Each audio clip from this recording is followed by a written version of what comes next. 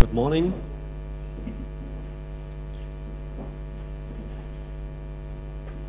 I have the pleasure to introduce the first regular talk, uh, regular track for the first conference day here. And um, this track is, and the next track always uh, also is mainly about uh, SSL and HTTPS. And I'm happy to introduce Henning Perl from the University of Hanover. And he will talk about comparison of SSL validation alternatives. And we will see a connection to our keynote, which we heard have heard in the, in the morning. Okay, yeah, thank you for the introduction. And also thanks a lot uh, to Angela Sasse for uh, the mentioning and the shout out in the keynote this morning. Um, yeah, I will talk about um, comparison and I will compare and talk about different SSL validation mechanisms. And um, this is joint work with uh, Sascha Fahl, um, Michael Brenner, and Matthew Smith uh, and we are from the University of Hanover. So, do you need to turn it off somewhere? Okay, okay I get it. Um, so what I uh, will I be talking about? Um, first, I'm just going to uh, revise what SSL is and what HTTPS is and how we are using it in the web. And then I will talk a little bit about things broken in SSL and especially in HTTPS. Um, and then I will talk about solutions. And especially when looking at SSL validation schemes, we can see that we have a whole variety of solutions and a whole variety of different ideas um, that all add a little bit different um, mechanisms to SSL validation and fix some things, but have drawbacks in another. Um, so next, uh, we talk about what the best solution is. So what is what will the future of SSL validation look like, or why there isn't one yet. Uh, and finally, I will propose uh, an evaluation system we came up with and discuss a, bit, a little bit, bit, about that. So just a quick reminder of how SSL works. Um, we have the client. Uh, basically, when I mean SSL, now I'm talking about HTTPS. So we are thinking web, we are thinking secure browsing and uh, secure connections to web server. So I have the client on one side and the server on the one uh, on the other side. And um, in order to establish a secure connection, the server needs to authenticate to the client first. The server needs to prove that that server is really uh, the server the client wanted to talk to. And how that works is that um, the client trusts a number of CAs, um, and one of those CAs signs the certificate of the server, and then the server presents um, that signature along with the uh, certificate to the client, and then the client can be sure because the certificate agency is doing um, its job and uh, looking that the server is really uh, who he proves he is, um, then the client can be sure that once um, the certificate has a valid signature, um, that server is authenticated. So how does it break? Uh, what gets broken? Well, basically, why we need um, validation in the first place is because otherwise a man in the middle could just present any certificate to the client and then open up a separate connection to the server. So even in that case, when the client does validate the certificate it gets, um, the CAs could issue uh, malicious certificates to an attacker.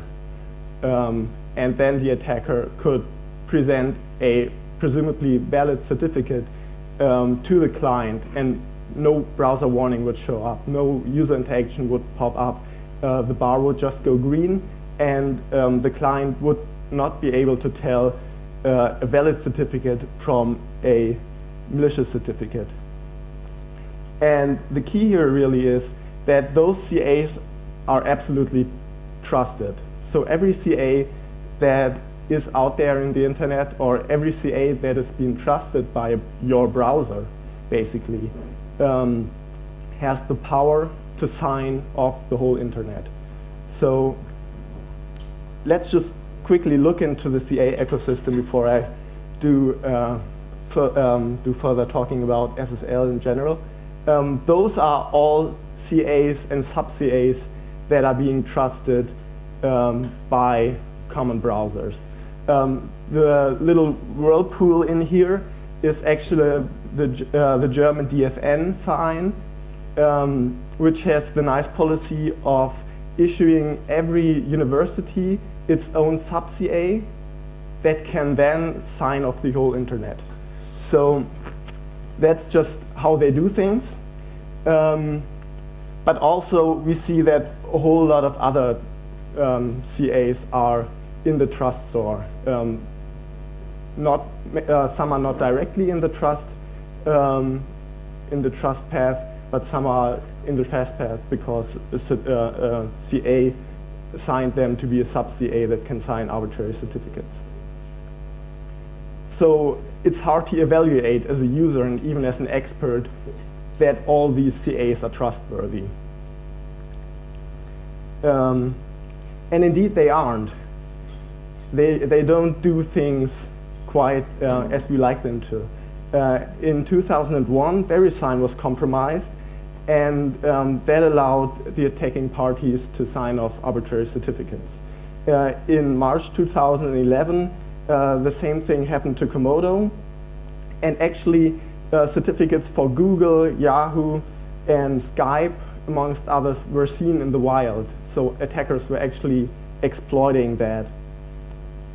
Um, and in August 2011, I think that was uh, the biggest takedown uh, attackers used uh, DigiNotar um, to uh, issue fraud certificates. And actually, DigiNotar is, I guess, is the only one that is has been expelled from major trust stores. So I don't think, I don't want to point the fingers at CAs uh, in general. Um, I think the, yeah. okay, okay. Um, I think I think the system is broken. Um, the system is that um, we depend on a weakest link security. We depend on the fact that um, every CA can sign any certificate um, and that is valid for every um, server out there. So it's not that the CAs don't want to do good security is it is if one uh, CA screws up, then the whole internet is insecure. So that's a fundamentally broken um, mechanism. So just as a quick overview for, those, uh, for you, what other things are broken in SSL? I mean, um, certificate, certificate validation is certainly one thing that is broken um, but there are a whole lot of others. So as uh, Angela Sasse um, pointed out, users ignore warnings, users don't understand warnings, users click through warnings. Um, there was actually um, a very recent paper on uh, Usenix in uh, Washington uh, two weeks ago, where, or one week ago, where um, people or where they analyzed click-through rates, uh, where people just click away certificate warnings, and it was around 30% uh, of users just clicking through warnings. Um, so um, another broken thing is uh, that the whole crypto system can be attacked. Uh, we had the Beast and the Crime attacks. Uh, we had Padding Oracle attacks, Lucky 13, and also we had attacks on RC4, which is uh, one of the underlying block ciphers that can be used. So there's a lot of irritation, even if I do um, set up SSL correctly, what are the right parameters? Which crypto algorithms can I, should I, must I use, or which must I ban? Um, then we have SSL stripping, a quite interesting attack where um, that exploits the fact that people don't understand security indicators, for example. People don't understand the padlock. Or people can't differentiate the padlock from a favicon that looks like a padlock. Um, and basically just tricked them to never actually use SSL. When you browse a website um, without uh, a protocol, it goes to HTTP first, and if the SSL stripper blocks the redirect to 443, or um, if the site offers normal content over port 80 uh, as well, then um, the SSL stripper can alter all HTTPS links to actually point to the HTTP uh, target. And therefore, without even exploiting SSL, but just by exploiting how the ecosystem of HTTP and HTTPS works, uh, can then uh, read and tamper with all the data that goes over the wire. So that's, an that's another um, attack. Uh, but also, in, um, as I mentioned in this talk, I will focus about uh, I will focus on SSL validation and the weakest link of CAs. So I mentioned there were a whole lot of um, solutions out there, and I just want to do a quick um, survey in this room. How many people do know all uh, the systems that are that I've mentioned here, perspective, convergence, sovereign keys, certificate transparency, accountable key inf infrastructure, DANE, TACK. How many of you do all of them? All of them. All of them. Okay. How, uh, two thirds. How many do know two thirds? Okay. Couple of hands. Uh, half of them. Okay. One third. Two. Okay, and one. Okay, and how, who didn't know any of them? Okay. Okay, so I'll um, do this. Um, Can you repeat the result? hmm? Can you repeat the result? Okay, so, okay, yeah, sure. Uh, it was um, about half of the audience did know two thirds, and the other half know one third or less, if I'm summarizing that correctly. But nobody actually knew all or almost all of them in detail. Which is no wonder because, um, um, back then, which is no wonder because actually ma many of them were just discussed academically or just thrown out there. Uh, and that's why I, uh, we did the research of uh, putting all of them together in one document and doing an evaluation system that evaluates which strengths and weaknesses they all have um, to help make further to further aid the discussion. So we have different types of solutions. We have um, the use of network perspectives, where you ask a bunch of people what they see, and then if they all see the same thing, then it must be valid. Uh, second, we have um, the idea to keep a log of certificates.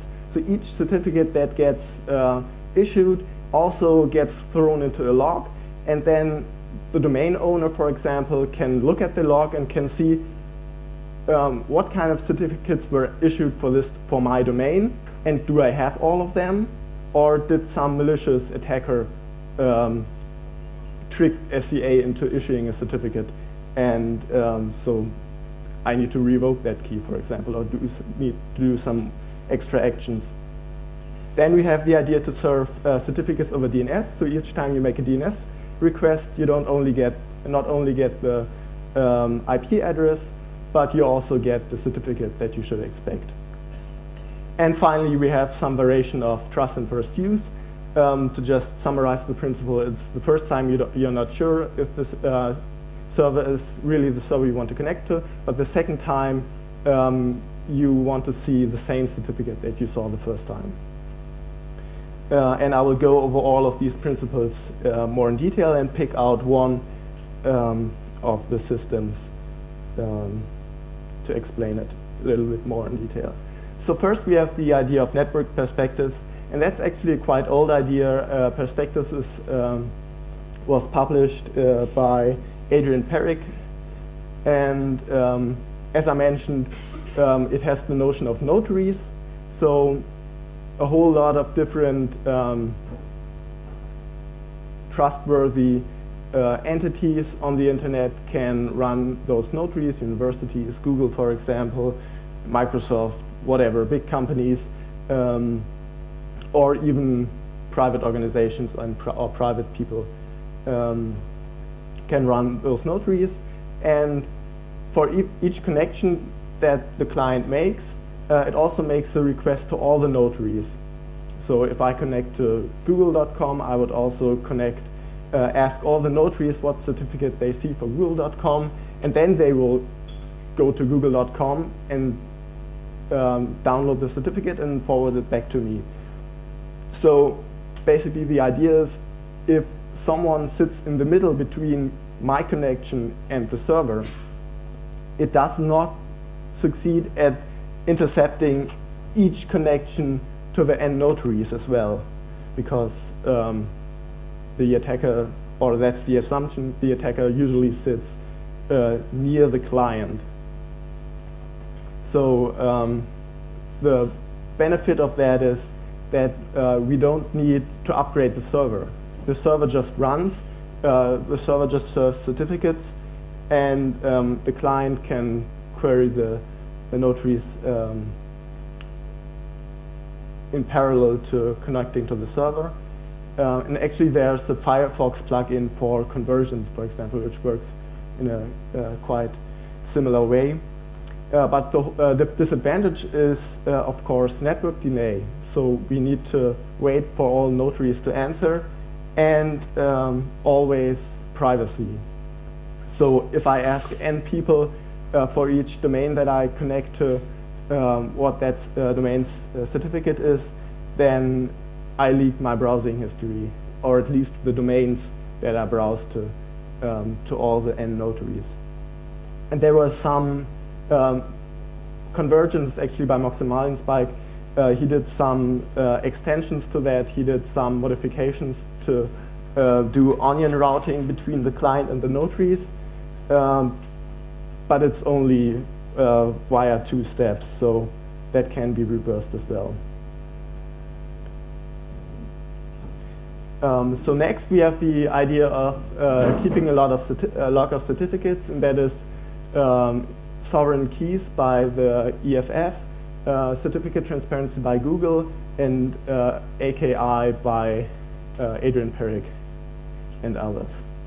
Um, which basically, starting from this SSL, normal SSL setup, where I trust the CAs, the uh, CA signs the key, and then the, the server authenticates to me, um, adds a lot of certificates so that the certificate uh, agencies uh, or the certificate authorities um, submit uh, uh, the certificates that they signed to the certificate log and then the client can query a proof of inclusion for that certificate that it got presented.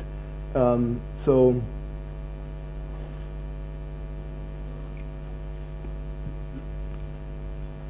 um, the client not only trusts the CAs that they don't sign malicious certificates, but also if the client gets presented a certificate, it can see or it can make the certificate log prove to him that the certificate is actually public, that it, the certificate is public knowledge. And by that, the security is basically, okay, if the certificate has been published, um, then the domain owner um, could um, take measurements when um, the certificate was uh, signed maliciously by a fraud CA, for example. So the idea is not directly to um, prevent attacks, but uh, more to make the whole ecosystem behave well and to make um, fraud and CAs um, obvious. So with that scheme, um, one hopes to um, ensure that if certificate agent uh, authorities um, sign malicious certificates, then it will be public knowledge um, in a short time. So the advantage, once again, is um, that we have no extra software on the server. Um, the proof or the, the sh short timestamp that the certificate uh, will be added to the certificate log is embedded directly in this uh, in the certificate. And also we have no extra network delay. But if we do not have extra network delay, then we can't query the um, certificate log during the SSL handshake, and but, but must, must do it later. So we may still get attacked, but before a lot of people get attacked, someone will notice. So it's kind of a fuzzy security in that sense. You could also make it blocking. So, so you could also say, okay, I don't want to do the SSL handshake before I don't know that the certificate is in the log. And then um, you have extra network delay, uh, but you also have um, the protection uh, that you get a positive or negative answer from the log right away. And also we need a new infrastructure. So we need someone to run the certi certificate log and we need to get the CAs um, to submit their certificates to the log as well. So um, the next idea is to serve the certificates over DANE, again starting from uh, the same old status quo. Um, we add, or we actually have a DNS server, right? Uh, but in that sense, the domain admin, so the one that runs the uh, DNS server, submits the certificate and signs the certificate. Um, and then the signed certificate is added or is embedded directly in the DNS record. And when the client queries the DNS server, it'll get the certificate along with the DNS response, which sounds really nice, really elegant. I mean, we have almost all of that infrastructure. So the biggest drawback of that is that we need DNSSEC. And um, if any of you follow the uh, long and slow deployment of DNSSEC, uh, we can kind of estimate that uh, it'll take a long time until DNSSEC is deployed and until we can talk about DANE in detail. On the plus side, we don't need anything extra on the server and we reuse um, the same infrastructure that we have right now. So it's, it's quite elegant, but it has a lot of drawbacks uh, of using, of requiring the use of DNSSEC. Because otherwise, someone could just spoof the DNS response. That's the main, uh, the main problem with that one. So if we don't have uh, security on that side, uh, where the certificate uh, gets served, then someone could just swap out the certificate and serve, uh, point the client to its own IP address, serve another um, certificate, and uh, the client would notice. So last, last but, but not least, we have um, pinning and um, as a representative TACK by Moxie Marlinspike, um, where um, the system behaves uh, slightly different depending on whether I connect to the server for the first time or for the second and for the times after that. So on the first connection, um, the server sends along uh, in the SSL handshake a public key, which is basically um, the public key which um, or um, a public-private key pair, and the private key pair, uh, or the private key he used um, to sign the actual certificate, and the public key, uh, or the TACK public key, he sends out with the um, SSL handshake, and then the client does pinning on the TACK public key, uh, which is a slightly benefits over using uh, pinning directly on the certificate, that the server can swap out the certificates as long as uh, he signs the certificate with the same um, TACK private key uh, on, of which the client pinned the public key, then um, the client uh, can still validate the certificate fine. And also I can do, you know, I can have a whole server farm and um, issue a lot of certificates and uh, a lot of different certificates and I can sign each certificate with my TACK public key uh, and do and the client uh, does on with a TACK private key. So um, and the client does pinning on the public key. So that's why we have an extra layer of TACK keys uh, along with the many certificates. So for one domain, I can have many certificates, but I have one TACK public key. Um, so first connection is insecure. Um, connections after that are secure because um, the client um, validates that the certificate is signed by the TACK private key. So what are advantages with that? Uh, we don't need extra software on the server um, because everything is can be embedded into the certificate. So normal SSL uh, software works.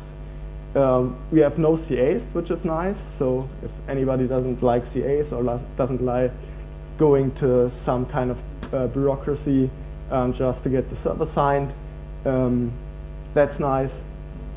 Um, the big drawback is that it doesn't protect you the first time you visit the site with a device. So um, something can be compensated by um, doing some kind of gossiping or sharing the TACK keys, but out of the box, the first time you connect to it, you have no idea if it's valid or not.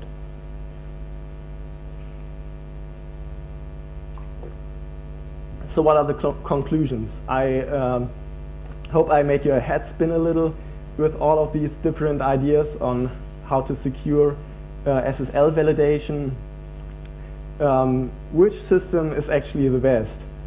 Um, so we don't, we didn't know, we don't, we still don't know, but we uh, thought that it would be really nice to compare those solutions and to categorize those solutions and to see which solutions offer which aspect and which aspects do we need when we look at SSL validation uh, after all.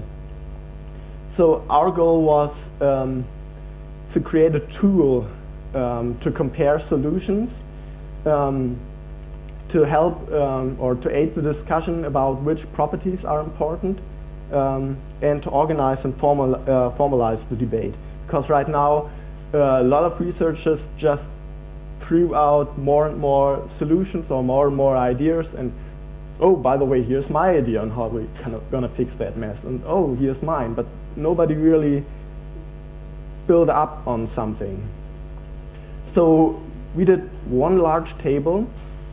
Um, we um, for each column uh, we wrote down one benefit. We had 12 we have 12 deployability benefits and nine security and privacy benefits and also we looked at adversary capabilities. So um, for which capabilities or which capabilities does an adversary, someone that wants to um, maliciously eavesdrop on the connection, a man-in-the-middle attack, what kind of powers does he need?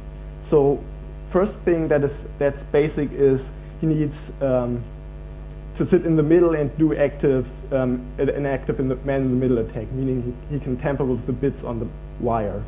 Um, second, um, or the next level is that um, he also has a trusted CA certificate. So at that point, SSL, as we know it today, fails or falls, because then uh, the attacker can basically eavesdrop on the connection. Uh, for all other solutions, that's not true. So all other solutions don't fall uh, just because um, a trusted CA certificate is required. Um, the adversary has a, has a trusted CA certificate. With exception to uh, certificate transparency, where the, the attack might go through, but the CA that signed the certificate maybe will be in trouble because then the whole world knows that they sign malicious certificates. Um, so the third level of adversary capabilities is uh, to compromise um, n user-chosen third parties. So along with you have an active man-in-the-middle attack and you have a trusted um, uh, CA certificate, you can also tamper with the output of uh, or compromise um, n third parties. So at that point, um, every uh, system fails. And to just give you a quick example of that, um, for, uh, I talked about the notaries where you have n notaries. Well, if the attacker could also spoof the answers of those n notaries, um, then the user would think that um, that is a valid certificate and the server is actually the server I wanted to talk to and um, the system's compromised. Um, so that is the table. I don't want to go over it in all detail. I think that's more uh, something to look at uh, in the paper than to look at it in a PowerPoint slide, uh, especially because uh, that uh, sheet of paper says that I should use large fonts. Um, but to just give you an overview of how it looks like, um, we have uh, benchmarked all the systems against um, SSL with the CA PKI, PKI, which is the, current system, and then we um, awarded uh, benefits. Uh, that's a black circle or uh, almost benefit, that's half circle, or it does not offer this uh, the benefit, which is a blank circle. And then for the man in the middle adversary capabilities, um, we use those kind of arrows. And then for each adversary capability, we looked at if the system is still secure with an adversary of that power. So the SSL um, with CA-PKI is secure on first contact protection and uh, on all other connections uh, when the adversary can just tamper with the bits on the uh, on the wire, but as uh, soon as it'll get to um, get hold of a valid CA certificate, it's not secure anymore, and so on. So uh, I encourage you to look at the table. Uh, I also encourage you to find errors, to tell us what you think is wrong, and to engage into the discussions. Um, and we will be more than happy to um, revise and further um, extend those um, uh, this table. And also, if you think that uh, we left something out on the deployability and security uh, benefits, then please tell us. So uh, this is meant as an ongoing document and is meant as a roadmap to what we think uh, SSL validation should look like. And ultimately, we would get to a system that is uh, black uh, has black circles all the way through. Um, so, as a conclusion, um, all systems that, that we looked at have some um, problems, uh, have some strengths. All proposals solve the weakest link um, property of current CA systems but in very different ways. In one way, I ask a whole bunch of people on the internet, and they tell me uh, if the connection looks good. Uh, some depend on uh, the notion that, well, somehow the C it gets obvious that, this, that the CA misbehaves, and so on. so, as we have no clear winner, uh, we um, can start some discussions of um, how SSL validation should look like. How should I ultimately prove that a certificate that I've never seen before from a source that I can't validate um, is valid or not? So how do I trust this? Do I want some kind of uh, web of trust? Do I want, like we have it now, some kind of notary, uh, no, um, certification agency uh, or authority that people can go to and claim with their um, ID that they are really the one that they claim to be, and then uh, that get uh, the certificate gets issued, uh, or do we have a whole different idea? Uh, do we want, need, or have to have um, CAs? That's that's a big question. Also, what we found out that uh, deployment is really challenging. So even if I have the perfect system, even if I know um, how the system should behave in every little detail, um, the migration is uh, quite hard. Um, and just, just to give a quick example, um, if I do some kind of extra information querying during the handshake or during in the certificate, um, an attacker could, in almost all scenarios, uh, claim to just be an old server that hasn't upgraded yet. So how do we prevent falling back to the old security in the time where we migrate from the old system to the new system?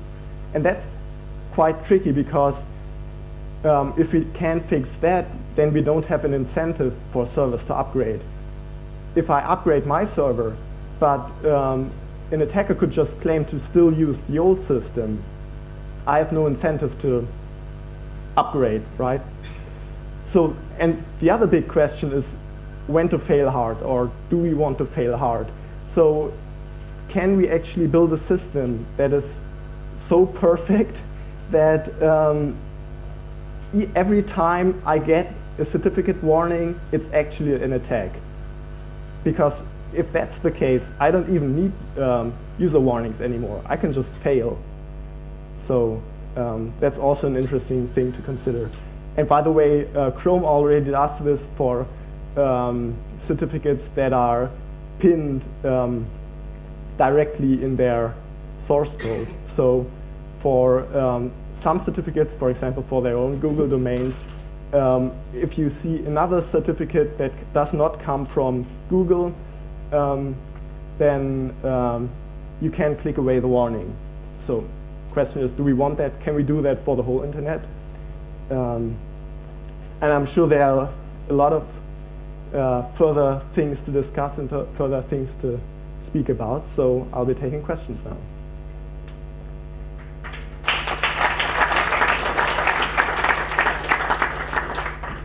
Thank you very much for giving us an overview about the landscape of SSL validation methods. Um, and Henning, I really, really like your translation of the acronym CA as a certificate agency. I think certificate authority is an internet you speak. okay, we have time uh, for some questions.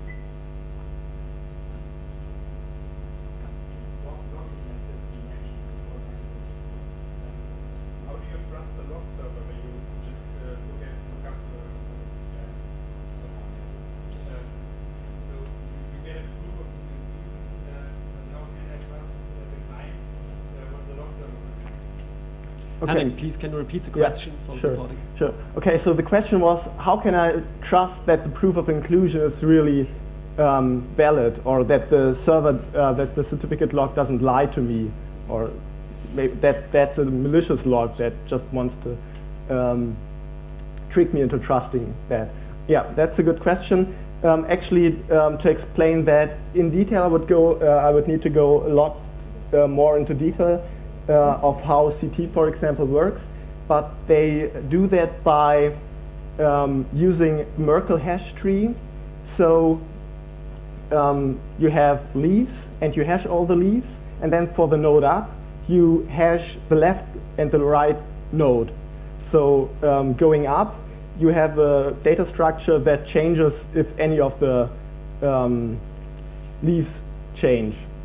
So um, then you can construct very concise proofs by um, adding to that proof um, the hashes of all the nodes that branch from the path from the leaf to the root. And um, then anybody can validate that um, that certificate along with the proof does really lead to the uh, top root hash. So just a quick overview how that works. Uh, the consequence of this data structure and the way they do it is that um, the log answers are transparent, and that's what the certificate transparency actually means. It means that if the log lies to you, it has to lie to everybody, and all um, um, and though the certificate uh, log is public, then and anybody can audit that. Uh, someone will notice that um, a new certificate has been added. So in order to lie to you, um, the certificate log needs to insert a new certificate into the log, and then anybody could notice it. So, yeah. Any more questions? Let us start here on the right side here, please. I have several issues with this approach. One is that it's, I think it's inheriting fundamental uh, problem of SSL CA by having a kind of what looks like a push mechanism between CA and security log. So if I, this is assuming that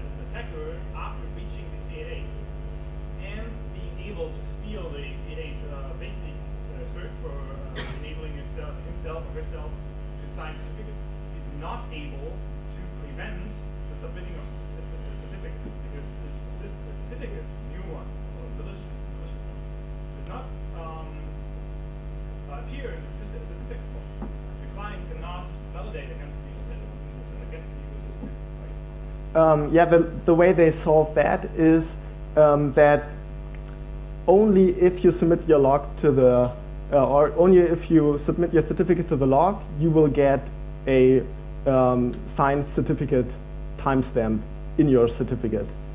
So, and if you don't, and that's directly embedded into the certificate, and if you don't have that, cl clients don't trust you. So if you don't submit your certificate to the log, it will not get trusted by, the, by clients, by new clients. So we have the, the kind of, the, the upgrade um, or the migration thing again. So what happens in the time between where a server does not present uh, or presents a certificate without a timestamp from the log server.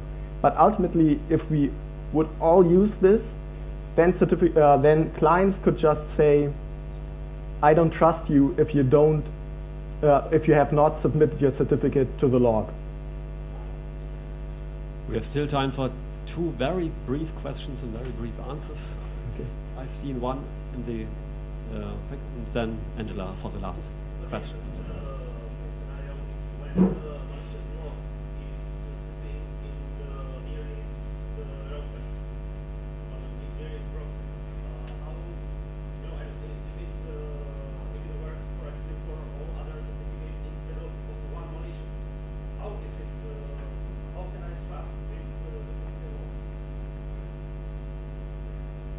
Well, to work correctly in all cases, cases except for one, um, that's not something that is possible by the, the underlying data structure because if it is malicious by one certificate, it would still need to provide me with a proof from that uh, certificate's hash to the root hash.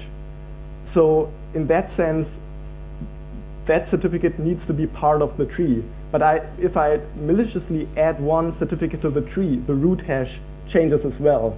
And so maybe I have not made that clear enough. Um, the certificate log needs to distribute those root hashes um, to the clients. So the client pre-trusts um, the root hashes. And if trusting the root hash, it can validate that all certificates are public knowledge. So. Excuse me, uh, can we postpone the discussion of very technical aspects to the break because we are short in time? And the last question uh, by Angela. So you listed the fact that users just accept, you know, don't ignore the warnings as one of the key problems. Right. So, but the reason that they that they don't um, pay attention to them is because they've been effectively trained to swat them away because of the right. high number of false positives. Right. So which of those solutions do you think, does any of them offer a path, and I didn't see that as your criteria, a path towards generating fewer false positives?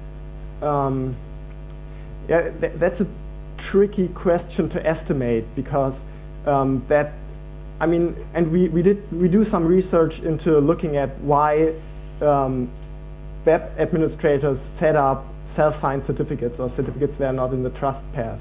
Um, ultimately, um, and we, we see a lot of similar, similarities between why users click away warnings and why uh, server administrators use self-signed certificates because they don't understand the risk. And um, I believe that in every scenario, it's kind of possible to screw up again, to, to just use self-signed certificates, more or less. Um, um, so we didn't put that into our criteria just because it's hard to prove that in the future, if we all deploy it, we will generate less SSL warnings by admins that don't understand SSL. Of course, it's hard to prove. Henning, thank you very much. Thank you.